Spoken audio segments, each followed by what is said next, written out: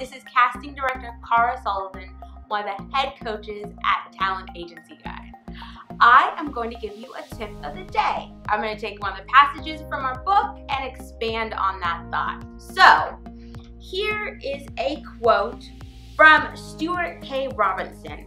He is the CEO and agent at Brady, Brannon, and Rich Talent Agency. A headshot is a photograph of your essence, of your quality. So if you don't have headshots that captured a thought or a meaningful moment, how will I know you're an actor that can capture 900 frames of meaningful moments? For example, an ideal is you want your commercial headshot to be one of those 900 frames that would make up a television commercial and have a serious impact and thought. To me, that's a great photo and one that just looks like you with teeth showing is not. Well, I agree.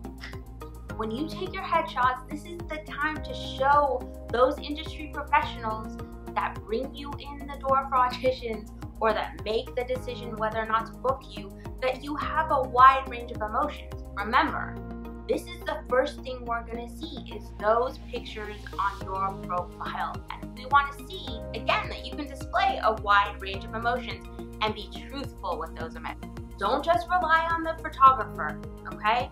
You're gonna have to do your homework. You need to do different expressions in the mirror before you go on your photo session. Do love, do hate, do that typical commercial headshot, you know, where you're happy.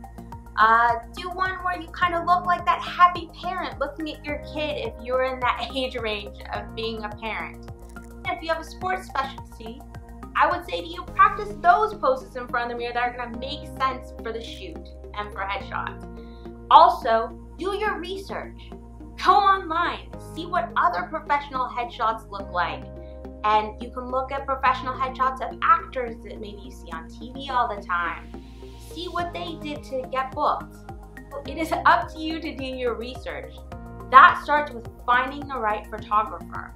Make sure you look online at all the photographers that are available and see what their work is like. The other thing is, once you decide on somebody, I would say talk to them for a bit. You know, if you're not gonna gel with your photographer, they're not gonna get the best out of you and the most natural performance when it comes to the photo session because think of the photo session as a performance.